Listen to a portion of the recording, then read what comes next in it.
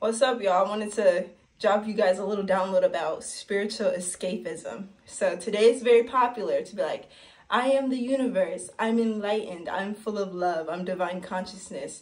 And we're pulling that information from our crown chakra, which is true. You are connected to the universe. You are the one with the spirit of the universe, of everything. You're connected to divine love. You are divine love. But a lot of times we leave that energy in our crown chakra and we go there to free ourselves, but we fail to integrate that information down into our other chakras. So you could say, one minute, I am the universe, I am love and light. But in your third eye chakra, you still see, don't see through all the illusions around you. You say, I am the universe, but someone's oppressing me and I'm fucked and the world is shitty and blah, blah, blah. And your third eye is still closed. You're not seeing how even with everything going on, you still are the universe. Everything still is connected. You still are divine love. That it didn't go away just because you haven't pierced through those illusions in your third eye yet. And then you can say, I am the universe. I am full of love, blah, blah, blah. And then you don't bring that into your throat chakra. So when someone offends you, you can say something really nasty back to them. You can say, well, they were being mean to me. They were trying to limit me. They were trying to harm me but you didn't bring that divine love, that oneness down into your throat chakra or your heart chakra. You can say, I am the universe, I'm full of love, but I hate these guys. I hate the far right. I hate the fascists. I hate people like this. I hate the colonizers. I hate X, Y, and Z. And you have all this hate in your heart, but how are you the universe and connected to everything in divine love? So this energy gets caught in our crown chakra. We fail to integrate it all the way down. And even in our, uh, solar plexus, we can get caught up and say, I am the universe. Yet when someone limits me, I feel ashamed. I feel so stuck. I feel so angry. I feel so bitter. And you haven't cleared the energy up in here. You haven't cleared the energy in your root chakra. You say, I am the universe. When you're in your escapism and you detach from your body, you detach from the world, you detach from your life. I am everything. I'm astral projecting, whatever. But when you go down into your root chakra, you feel like, I'm disassociated. I'm not even here. I don't feel connected to my life because all these illusions around me and all these people and bullshit, they're making me feel so, they're pushing me away. They're not letting me shine my light. So that's, that's what it looks like when you have your crown chakra wide open and you go there to escape from life, but you fail to integrate it down into all your chakras, which I have done this. This is probably describing the last two years of my life. So I wanted to spend some time today to show you how to take this energy from your crown chakra and pull it down all the way to your root chakra through all of your chakras so that that divine energy that oneness that profound love doesn't just stay as a idea or a philosophy or an escape you can go to go to but it becomes a reality completely and consistently in your life. And you can see how you are solely responsible for maintaining that energy in your body and no one can limit you unless you allow them.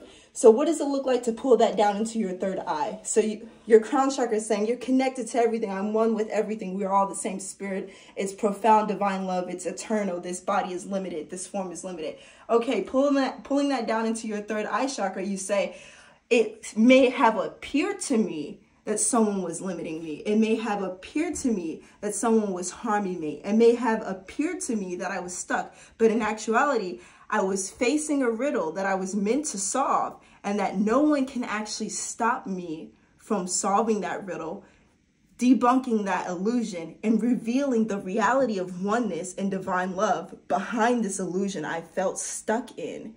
So when you pull that down into your third eye chakra, you begin to see it. The things around you that you once felt stuck about. You once felt angry. You once felt frustrated. You pointed a finger. You said, these people and that people, and they keep building this bullshit. And all these things are out of order. It's out.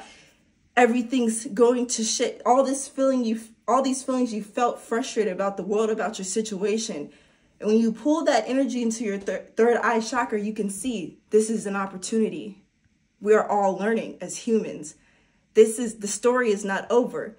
There's been some illusions people built, people based things off of. People created whole ideologies, whole religions, whole political ideas off of these illusions, but they are not real. And the reality is still there. And we can all help open it up and heal and solve it. So I'm here facing this illusion, this illusion is not stronger than me. It's not realer than me. It's not more powerful than me. It cannot limit me unless I buy into the illusion that it can. And I'm here to bust it wide open. And I know as soon as my third eye accepts this reality that all around me, it is still imagination. It is still divine consciousness. It is all still divine love. It may be arranged in various illusions, but I have the power as a creator with my imagination and my love and my energy to transform and heal and solve these riddles and this helps humanity evolve because now we become more self aware as a species.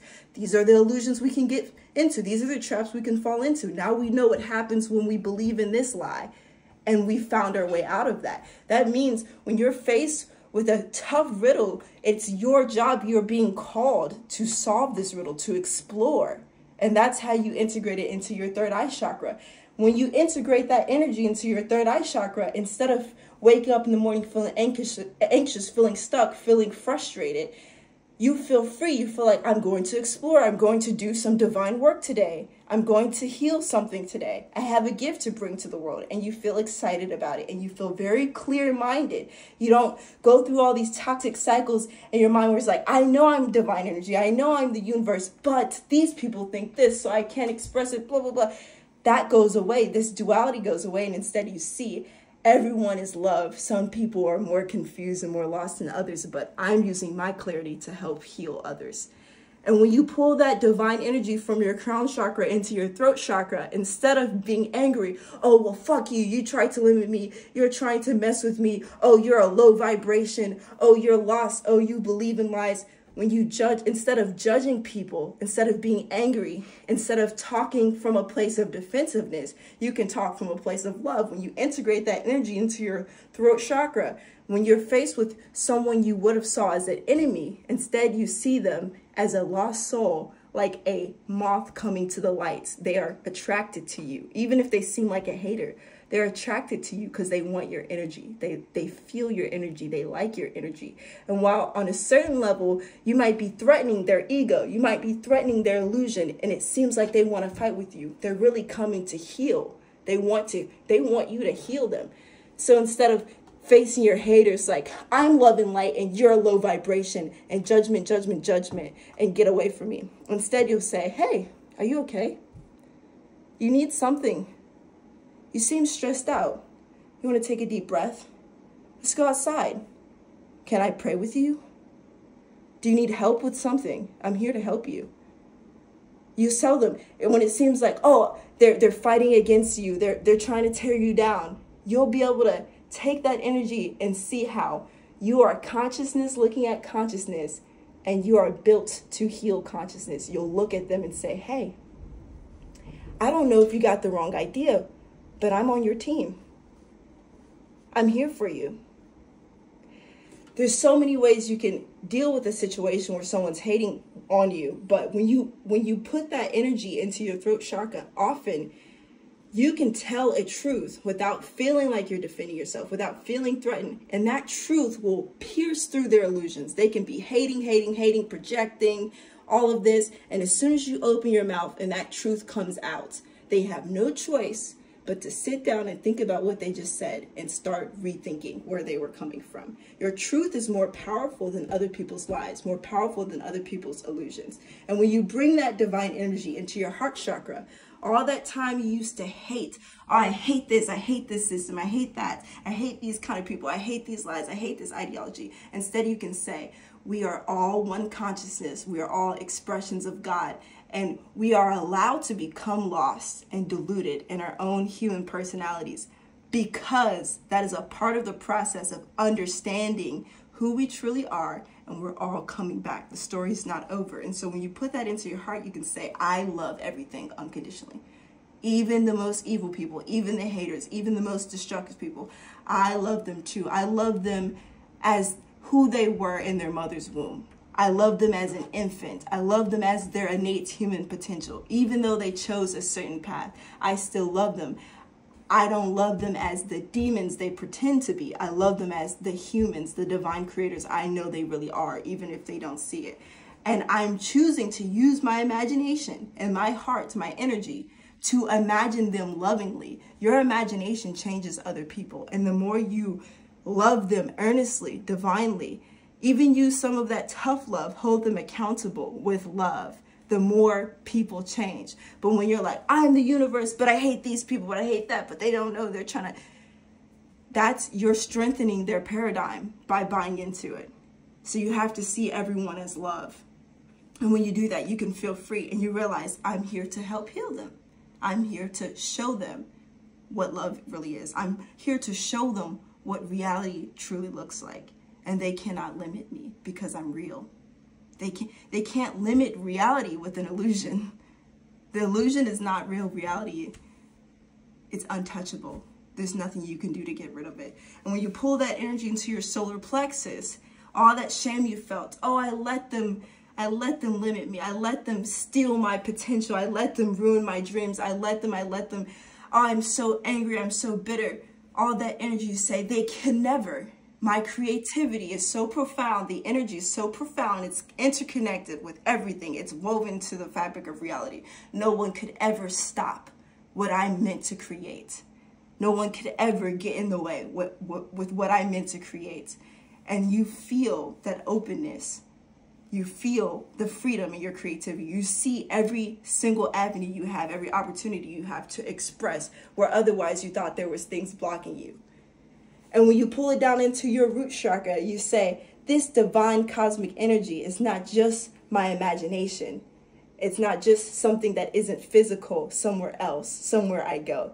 It is the physical. My divine imagination is the physical. This is all the divine imagination. And I'm here as a divine creator, as real as it is in my astral projection, as real as it is in my trip, as real as it is in my dream, as real as it feels in my prayer. It is always that real. And I'm here in every atom of my being.